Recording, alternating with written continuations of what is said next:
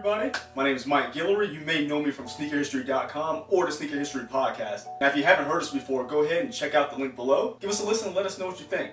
Now, today I'm here doing something a bit different. I'm actually doing my first ever YouTube sneaker review. I jumped into this space because I got inspired by a lot of the guys out there putting out some great information, great unboxings, great wear tests, great reviews and I want to contribute my own to the sneaker space. So with my channel, you're gonna see them not necessarily unboxings, but you'll see reviews of hype items, thrift store items, big box steals, GRs, whatever it may be. Just want to give you guys reviews of all the items I'm able to get my hands on. That being said, let's jump right on into our first shoe. Now, the shoe we're going to talk about today is has been met with a lot of criticism. I think it got kind of overshadowed by a lot of the sneakers that released this holiday season as well. But it also didn't help that the sneak peek images just didn't do any justice. Without further ado, first sneaker we'll be looking at is going to be the Jordan 4 and the What the colorway.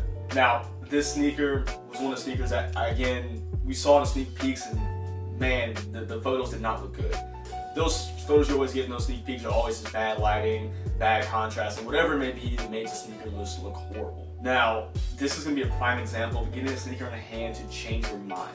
Because after seeing the photos, I wrote the sneaker off completely, but once I got it in hand, blew my mind because quality, color blocking, the shape, is they actually fantastic. It's very weird that people let these sit because you go around to any store right now, whether it be a boutique or one of the big box, one of the big guys, you're still sitting and I think this is one of those sneakers that if you have a little extra little change that you want to buy something, go ahead and pick these up. I think you you will not you won't regret it. Now, I'm gonna jump on back and kind of what we're looking at and with the what the theme. That's nothing new with Nike. They've done so with the what the dunk, where you take an amalgam of colorways, throw them on two different shoes and boom, that's your what the pair. Now, Nike's also throwing in their signature basketball line with LeBrons, the KDs, the Kobe's, all have seen the what the colorway. Some done better than others, just depending on the model and depending on how the colors look.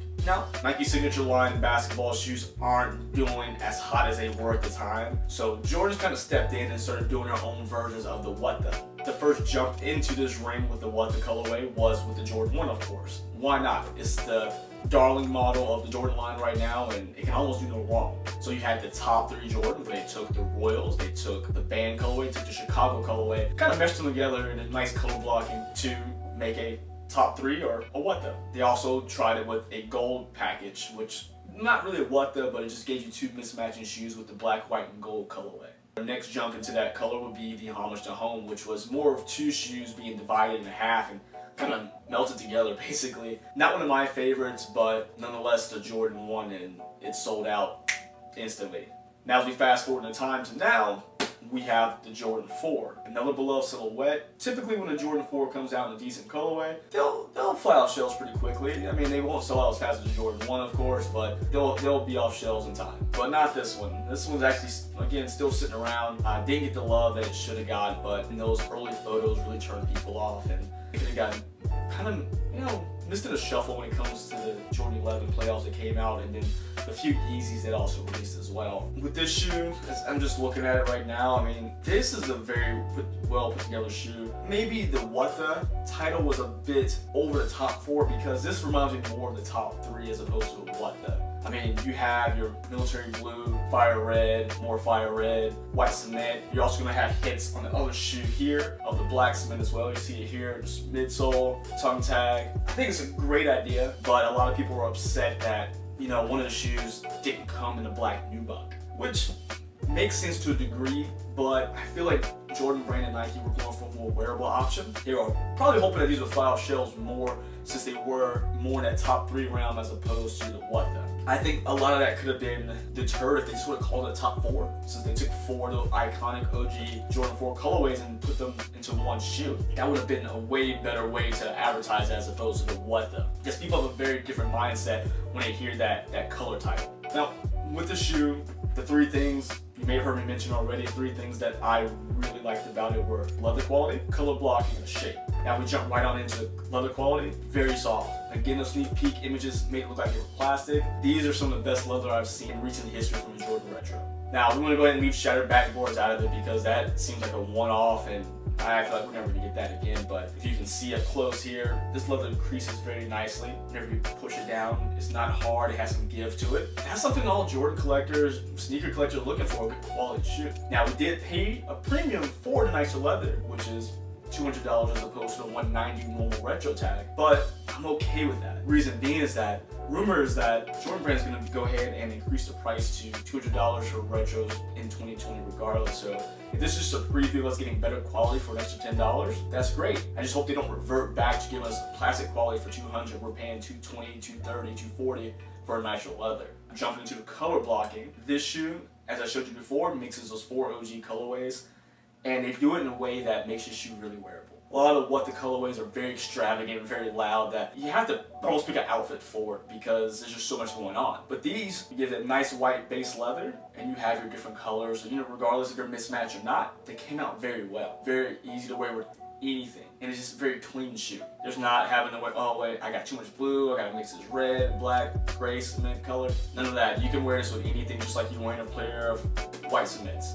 Cool very easy to do. The shape, which is a very important part, especially for a lot of people who pay attention to the OGs of these shoes. Now if you look, as you go down the front of the shoe here, you see it's a very nice slope and actually a very short toe box compared to what we've seen in past Jordan 4 releases. And that's one of the things I've noticed. Now, I've never owned a pair of OG 4s. They came out the same year I was born in 89, so I've never actually had to see them in hand. But just doing research for the website and for the podcast, I've gotten to know some of like the different shapes and how they've changed over years with just the multiple retros. Now, a great example of that is if I show you this a Jordan 4 military blue from 2012. Now it is seven years old and has some wear to it, but you can clearly see the difference in the shape. You see a wide the toe box is. It's very square, very boxy. It provided a lot of dead space on top of your foot, which made it feel weird when you put it on. I'm normally size 10. This is a size 10. This is a size 10 as well. These fit completely differently. This one fit like a glove. Nice and snug right on top, not hurting, but not too much space above. While this one had seemed like endless amount of space above my foot, and when I walked immediately, bad creases. Now, creases don't really matter to me that much. I mean, I'm gonna wear them, they're gonna crease, it is what it is, but it's weird for such a deep crease to happen after two, three steps of just putting them on out the box. And I know that will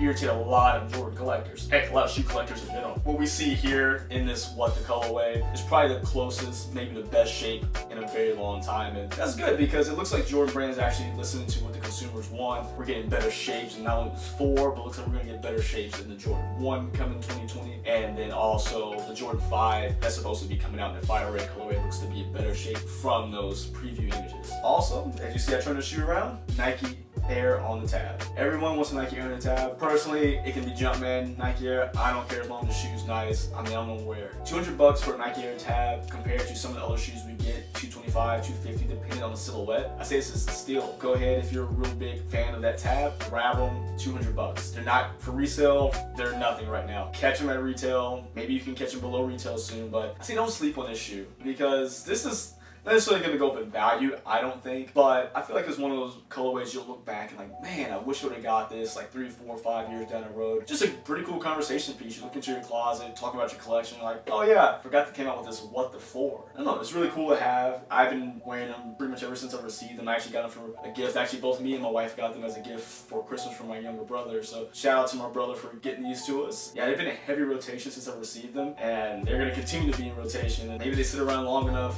go on sale, and grab a second pair just to just to keep on ice if these uh, get too beat. But let me know what you guys think of the sneaker in the comments. Did you cop? Did you pass? Are you gonna cop whenever the price goes down? Let me know. I love to hear from you. Also, go ahead and follow me on Instagram and Twitter at MadWatcher789. And then follow me on SneakerHistory.com and listen to the Sneaker History Podcast. Until next review, see ya!